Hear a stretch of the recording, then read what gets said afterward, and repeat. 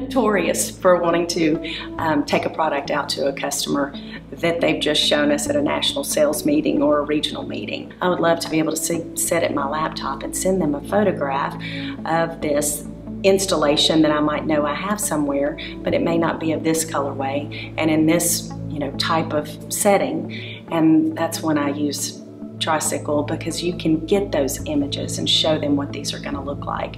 So I can call and say, I want a classroom with this product in it, put these two together, 20% of this product, 80% of this, and they make it happen. You can actually see the texture of the product. The colors are dead on. I mean, you lay them next to each other and you almost have to feel to see which one. So I'm I'm always 100% confident. The six foot pieces, so I don't have to carry in a roll of carpet, has been a lifesaver. Being able to show that total pattern to the client and then to understand the movement um, and the transition of the color and the pattern and how that's going to do throughout their space. To be able to bring in that large piece, it speaks wonders.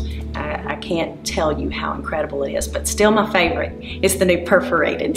I had no idea we had these, and they're incredible. You can take a product with multiple colors and designs and transition and solids, and you can work your patterning right there when you tear them apart.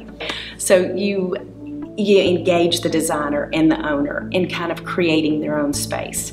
So that's one tool that I'm in love with.